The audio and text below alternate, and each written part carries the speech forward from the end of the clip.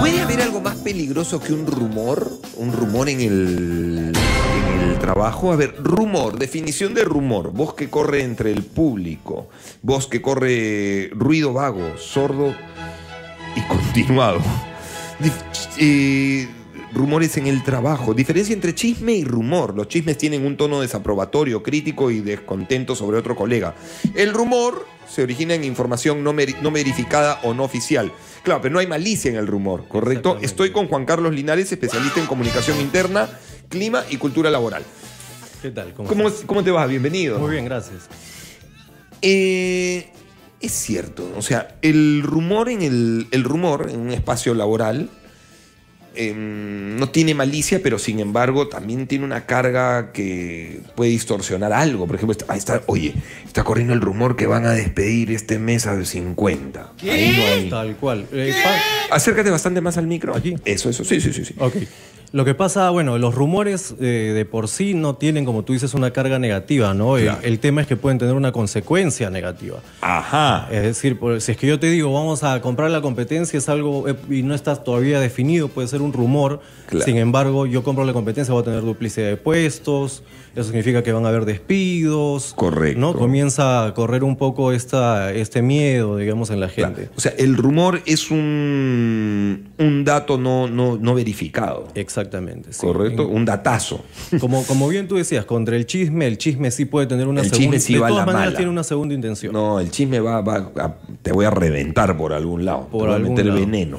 Así es. Claro, mientras tanto el rumor no, pero no significa que el rumor sea menos dañino que el chisme. O sea, es otro tipo de daño en todo caso. Claro, lo que hay que hacer ahí es gestionarlo, ¿no? O sea, a nivel de comunicación interna lo que uno trabaja es este, controversia y la gestión de la controversia. si A ver, yo quiero, yo quiero enfocarlo un poquito más hacia el lado del... O sea, si yo me doy cuenta que está corriendo en el trabajo un rumor sobre mí, Ok.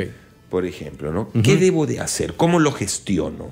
Eh, lo primero que tienes que hacer es identificar, identificar cuáles son lo- los canales por los cuales se gestiona este tipo de cosas ¿De dónde en, tu organización. está saliendo el rumor? Claro. Sí, pero ¿Por dónde está circulando? pero también sobre todo qué es lo que la organización, la empresa, eh, tiene como marco para este tipo de temas. Por Ya, ejemplo, estamos ah, hablando de un- claro. de, un, código de ética, de un código de conducta. Eso te marca un poco la, la pauta de cuál es tu referencia. Claro. Si es que el rumor que está, o, el chisme que está corriendo contra ti, eh, está enmarcado dentro de lo que podría tipificarse como una falta a uno de estos códigos, tienes Denunciarlo en recursos humanos. Obviamente, sí. Practiquísimo, sí.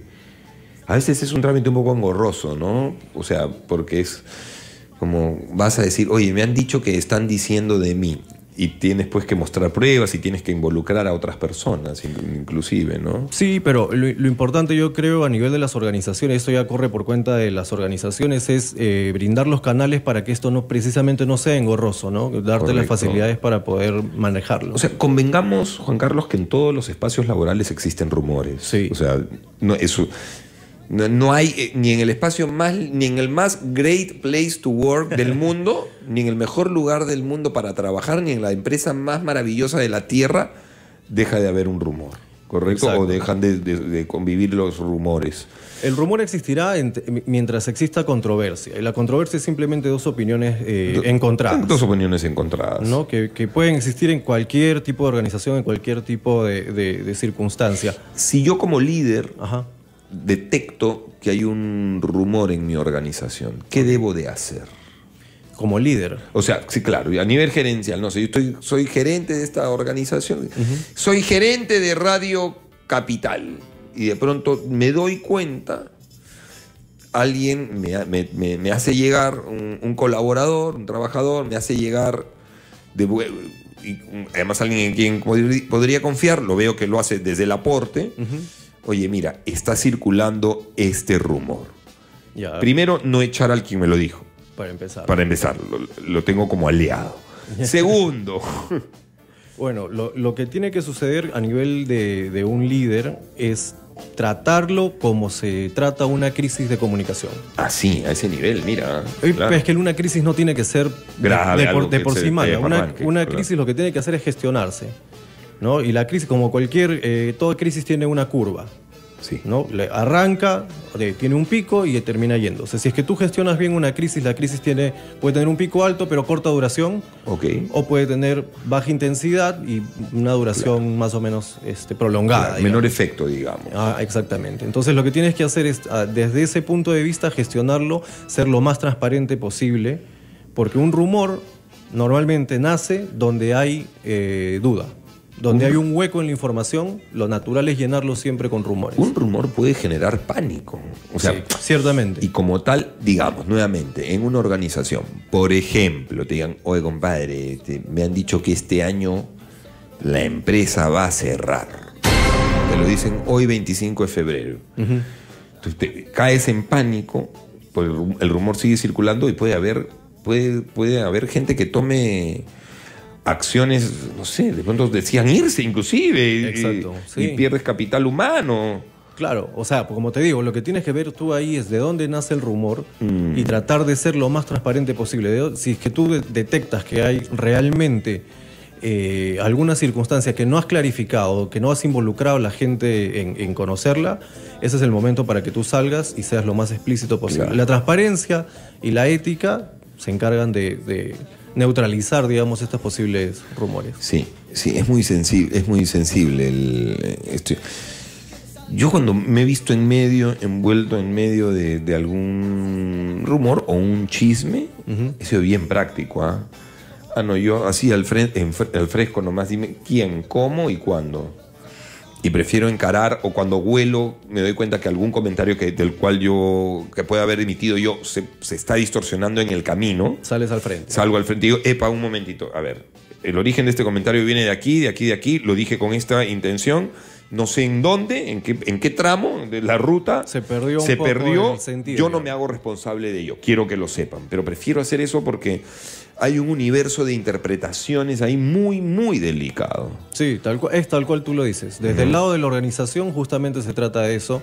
Desde el lado de la persona se trata de reaccionar como tú lo estás describiendo, pero siempre dentro del marco de lo que es eh, la disciplina progresiva, por decirte, ¿no? Correcto. O sea, te- existen eh, formas de sancionar, digamos, si es que se atenta contra uno de los códigos de ética o el código de conducta. Sí, ¿No? correcto. Más bien, esto sí no es un rumor, esto es una ni chisme. Qué feo el pay de limón de la cafetería, no me gustó. Son las 7 y 31, ya volvemos aquí. Vas a generar una crisis. Una crisis, vamos a crear. La gente se da vuelta para poder mirar un paso adelante.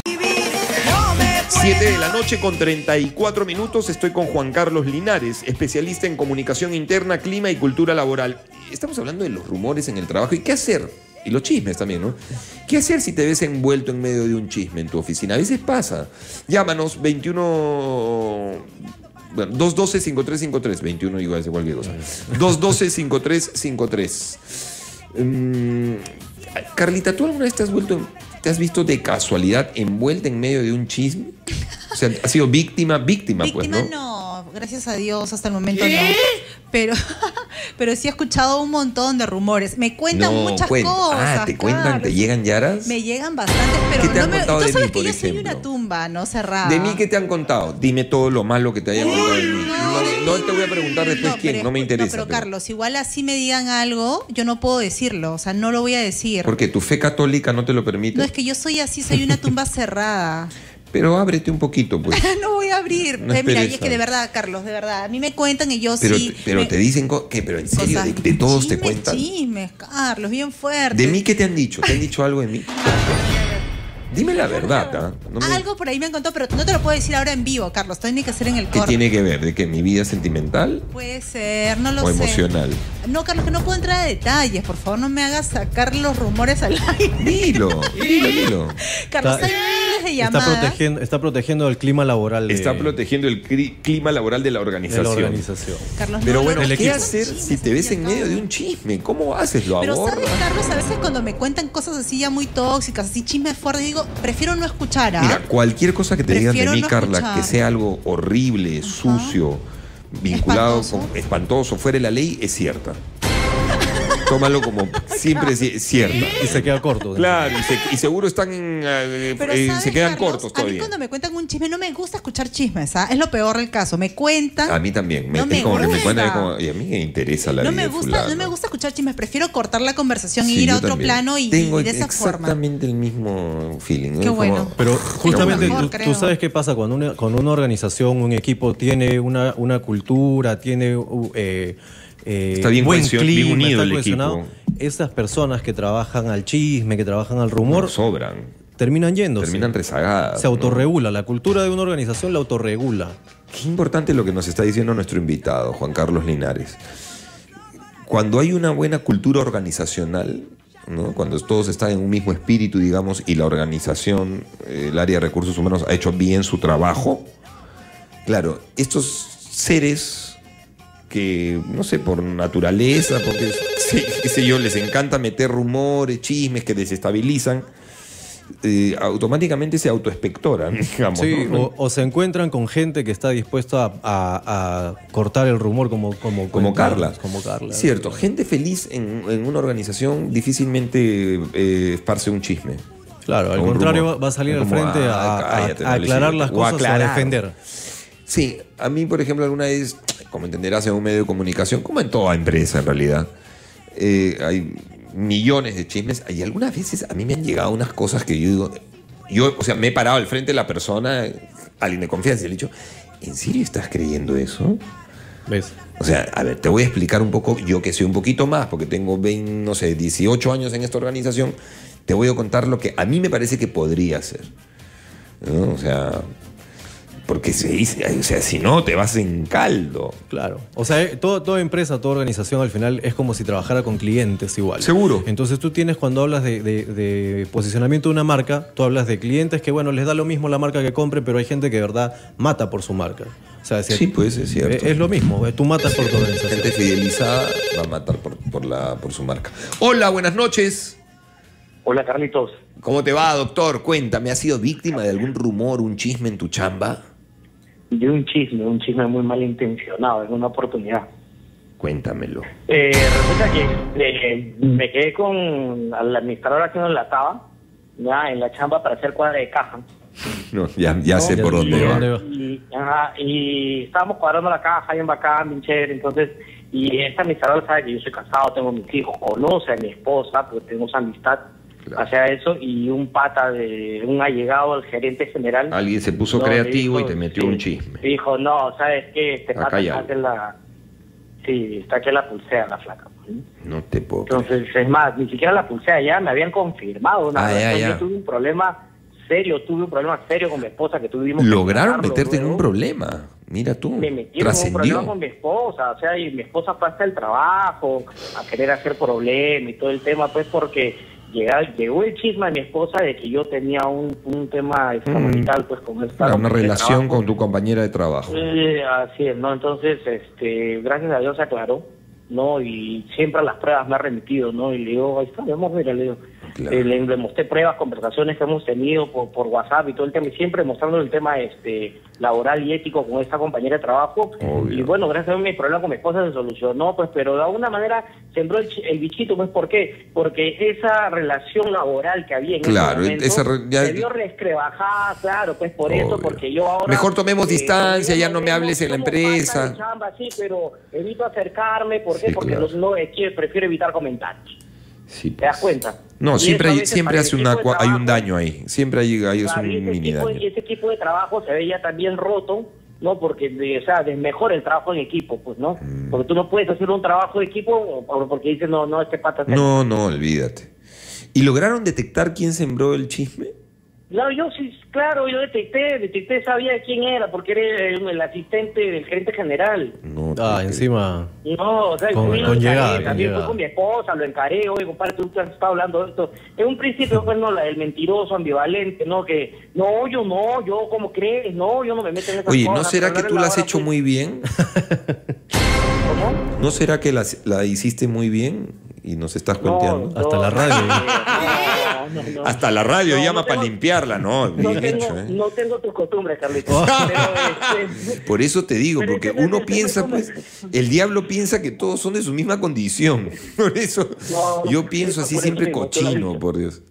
Bueno, mi estimado, es cierto lo que tú dices. Eh, o sea, aún tú, habiendo podido defenderte con pruebas y todo, claro, hay un saldo en contra, ¿no? Saldo que ya negativo. puedes tener ese mismo vínculo amical con esa persona.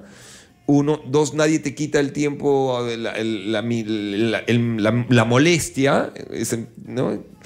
Y, y- y tres, sí, pues algo queda siempre, lamentablemente. Sí, bueno, y uno, uno, uno como persona, bueno, tiene que gestionarlo, pero la verdad es que, que hay un tema de liderazgo también de por medio, ¿no? Porque No, si estamos correcto. hablando de un equipo, quien tiene que salir al frente es la persona a cargo del equipo para tratar de, de hacer control de daños. Claro.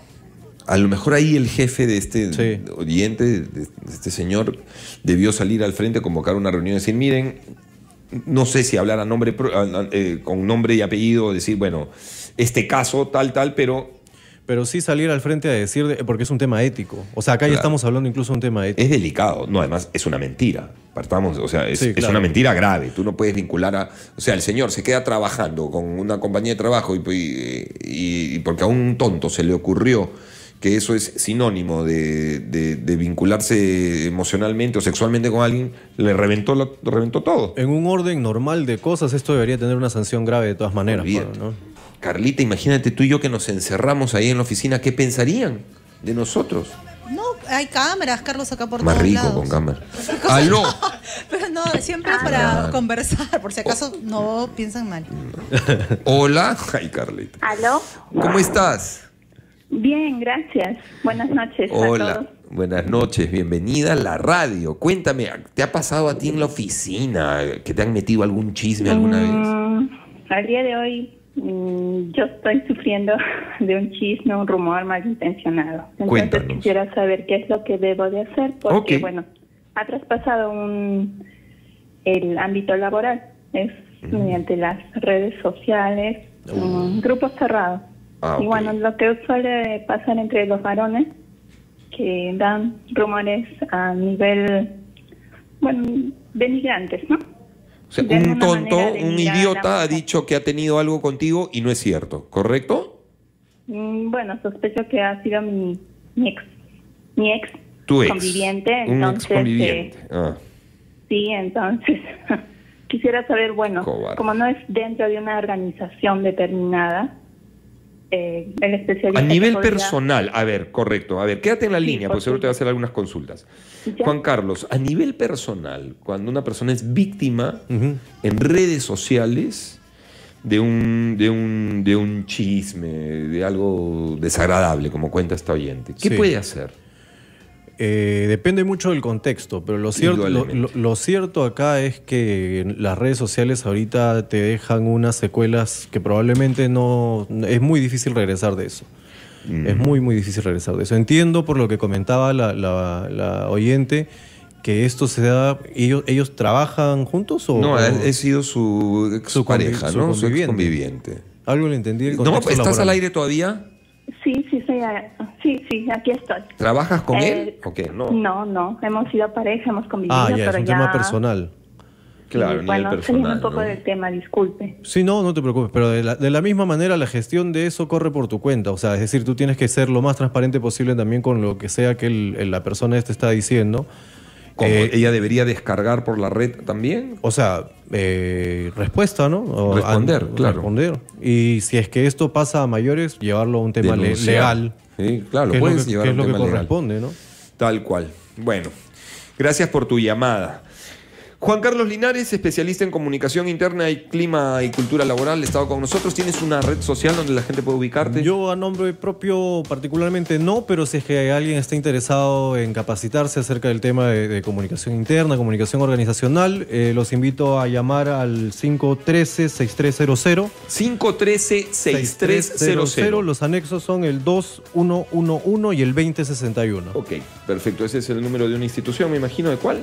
Es el número de la Universidad San Martín de Porres, donde estamos dictando un curso, eh, un módulo de comunicación interna. Perfecto. Te agradezco. A ti, muchas Muy gracias amable. por el tiempo. 7 y 46, Milagros Albarracín, nuestra psíquica medium viene al cerrar el programa.